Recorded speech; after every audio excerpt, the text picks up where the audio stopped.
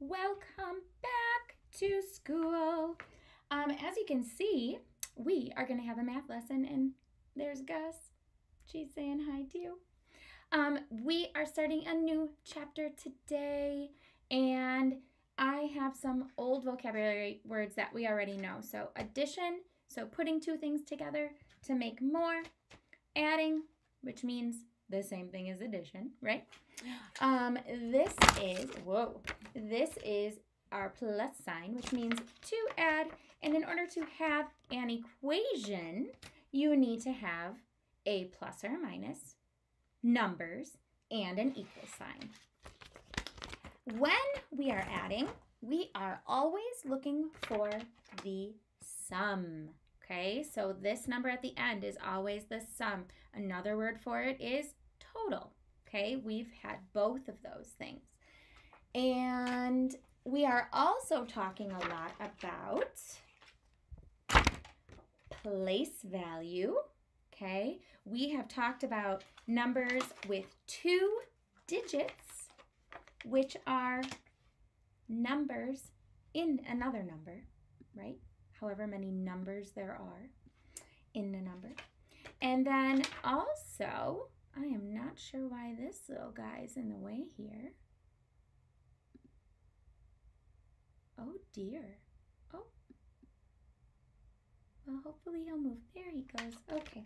So here is our definition of digit. So however many numbers are in the whole number. And so when we talk about place value, we've talked about two digit numbers a lot. We've also been comparing three digit numbers.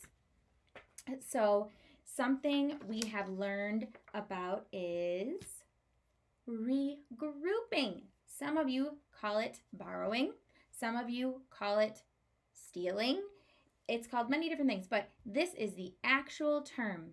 Regroup, okay? That is the actual term. So it's trading a 10 for ones or vice versa. Well, now we are going to be trading hundreds, okay? So today's lesson is right here. This should look familiar to you, okay? It says we already know hundreds, tens, and ones. Now we're going to use these strategies to add three-digit numbers. So it just wants you to practice. We're just going to be practicing, okay? And I just want you to do your best. I know that sometimes math can be frustrating, but we have talked a lot about different tools that we can use. Look, they're even here. Connecting cubes, counters. Maybe you have something at home you could use as counters. Base 10 blocks. We've used those before. Another way to use base 10 blocks would be to draw them, right? So we have 100, 10, and a 1. Those could be your base 10 blocks. You could even cut out things for that to work. Number charts and an open number line, which is that, okay?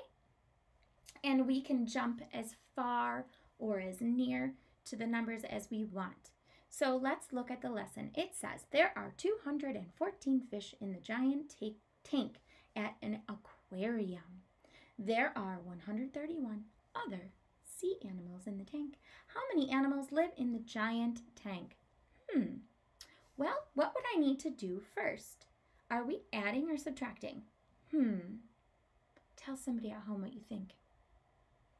You are right. We are adding. So we want to add 214 because that's how many fish there are.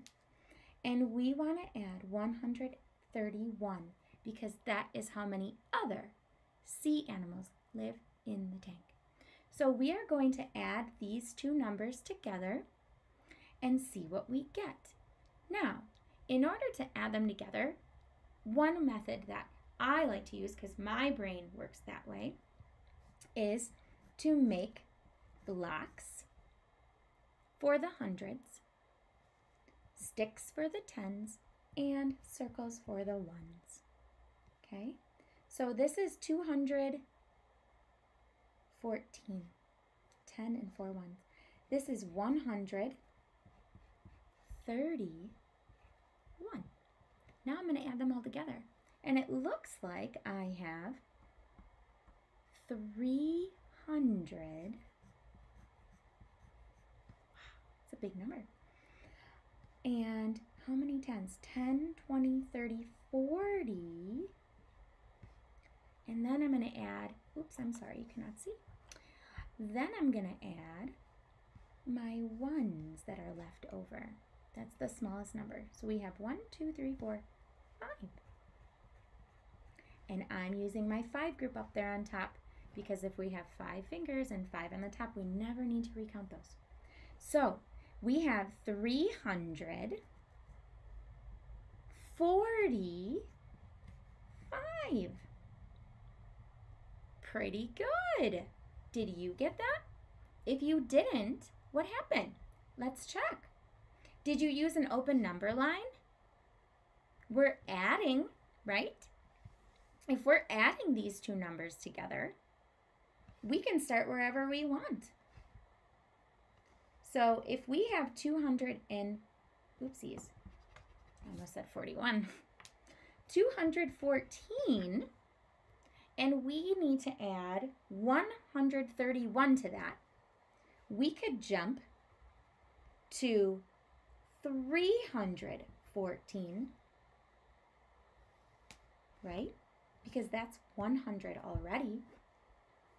And then we could jump to 300.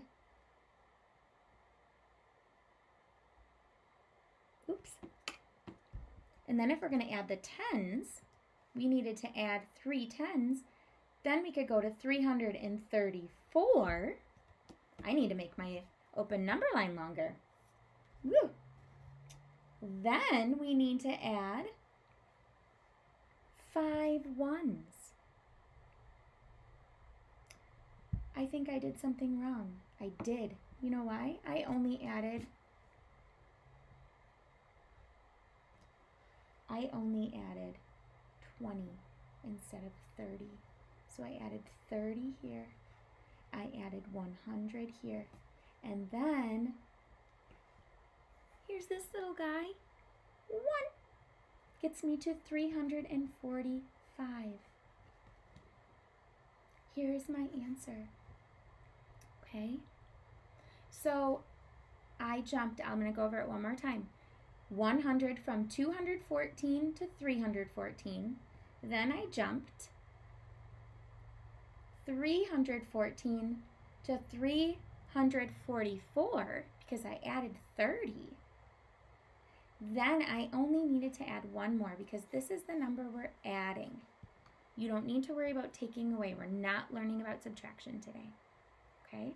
So there is your lesson for the day. I would like for you to, um, on the back of here, there is a problem about a tiger. Okay? And it reminds me of this crazy show that people are watching called Tiger King. Anyway, there are 236 animals that live in the first part of the zoo. There are 152 animals that live in the second part of the zoo. How many animals live in both parts? Well, are we adding or taking away? Hmm, tell somebody at home, even if it's your pet or a stuffed animal. Oh, I heard you. You are right. We are adding. We are adding 236 plus 152. I want you to show me how you're going to get your answer or your solution. And I want you to take a picture and put it on here so I can see what you did to figure it out. Cool? Awesome. Math lesson is done for the day. Nice